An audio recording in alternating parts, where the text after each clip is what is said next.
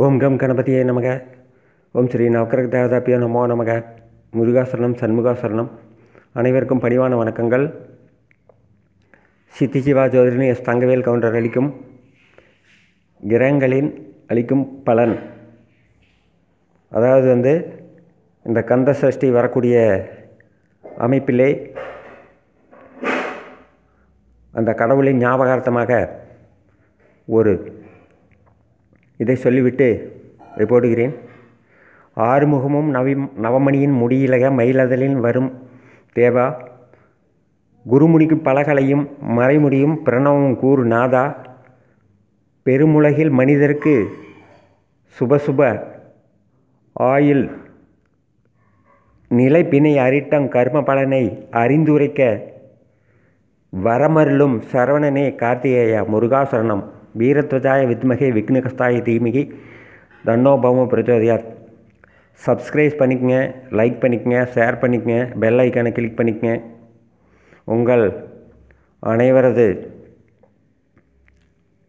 நல்வணக்கத்துடன் சித்தி சிவா சோதிடர் எஸ். தங்கவேலு. கிரகங்கள் தரும் பலன்கள். அதாவது கிரகங்கள் வந்து என்ன பலனை செய்யும்? இப்போது ஒருத்தர் வந்து உங்கள்கிட்ட ஜாதகத்தை கொடுத்து எப்பொழுது வீடு நிலம் வாங்கணும் வாங்குவதற்கு என்ன காலம்? சுக்கரன் பாகையும் லக்னத்துக்கு சுக்கரனுடைய பாகையும் நாலாம் அதிபதியின் பாகையும் கூட்டி அதன் பாகைக்குரிய ராசியில் கோசார குரு வரும் வரும் காலம் வீடு நிலம் வாகனம் வாங்கும் யோகமான காலமாகும். இது வந்து கிரகங்கள் தரக்கூடிய பலன்கள். அதாவது இந்த கிரகங்கள் தரக்கூடிய பலனிலே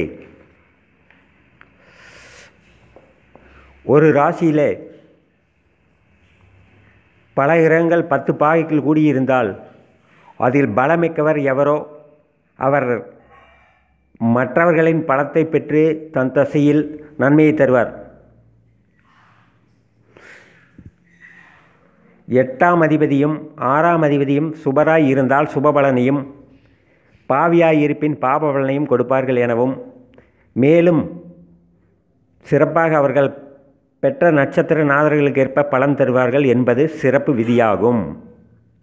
அதே மாதிரி வந்து சரராசியில் லக்னமாக அமைந்தவர்களுக்கு சரராசி உபயராசியில் உள்ள கிரகங்கள் சுப பலனையும் ஸ்திரராசியை லக்னமாக கொண்டவர்களுக்கு உபய சரராசியில் உள்ள கிரகங்களும் தீய பலன்கள் தருவார்கள். உபயராசியில் லக்னமாக அமைந்தவர்களுக்கு உபய ஸ்திரராசியில் உள்ள கிரகம் சுப பலன் தரும் என சொல்லப்படுகிறது. ஒரு கிரகம் தன் தசையில் தன்னை சார்ந்தவர்கள் பார்த்தவர்கள் தான் பெற்ற நட்சத்திராதிபதி இவர்களின் தன்மை பலத்துக்கேற்ப நன்மையோ தீமையோ தரும் என்பதாம். மாரகாதிபதி யாரெனில் மாரகாதிபதியை பார்த்தவர்கள் சேர்ந்தவர்கள் இவர்களது தசாபுத்தியில் மாரகத்தை தரும் என்பதாம். மாரகாதிபதியின் சாரம் பெற்ற கிரகம் மாரகம் செய்வதில் அனைவரையும் விட பலம் மிக்கவர் என்பதாம்.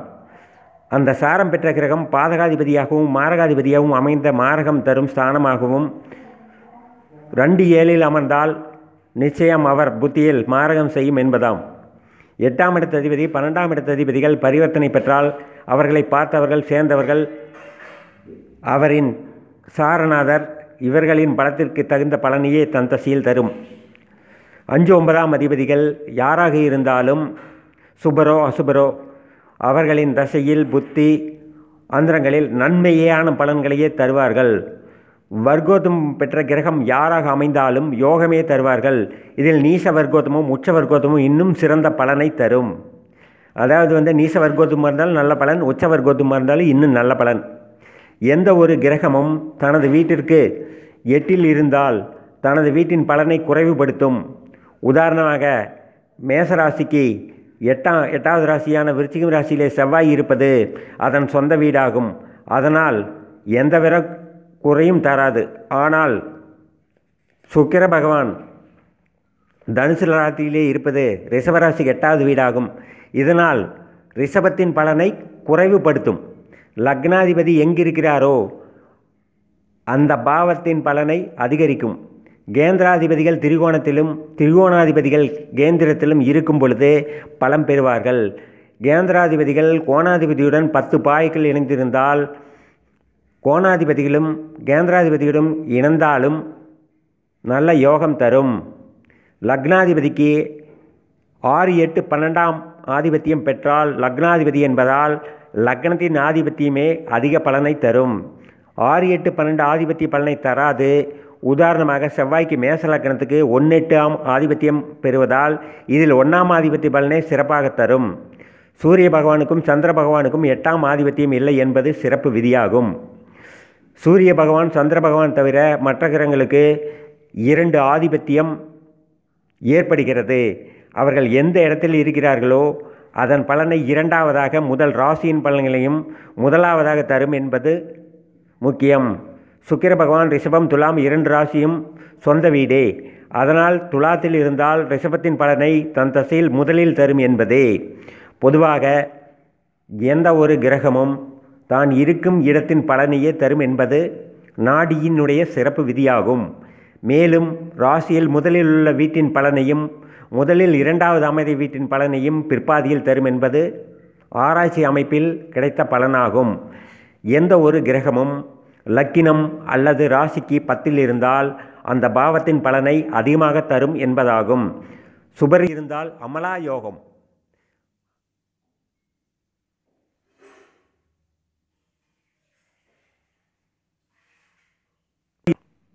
சுபர் இருந்தால் அமலா யோகம்.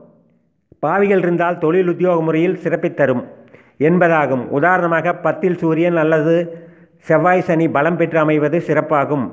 வாழ்க்கையில் கீழ் மட்டத்தில் இருந்தால் அவரவர் நிலைக்கேற்ப உயர்நிலை தருவது என்பது விதியாகும். சனி பகவான் பத்தில் பலமாக அமைவது பொதுமக்களின் மாஸ் பேராதரவை தரும் என்பதே. எந்த கிரகமும் கேந்திரத்தில் இருக்கும் பொழுது அந்த கிரகம் கேந்திராதிபதி தோஷம் பெற்றிருந்தாலும் மற்ற எந்த தோஷம் பெற்றாலும் ஆறாம் இடம் அல்லது அஞ்சாம் இடம் அல்லது ஒன்பதாம் அதிபதியின் பார்வை சேர்க்கை பெற்றால் தோஷம் நீங்கிவிடும். அதன் திசாபுத்திகளில் யோகமே தரும். ஆகவே அனைவருக்கும் கந்தசஷ்டி முருகப்பெருமானின் அருளாசியுடன் மீண்டும் மீண்டும் தொடரும். நன்றி வணக்கம்.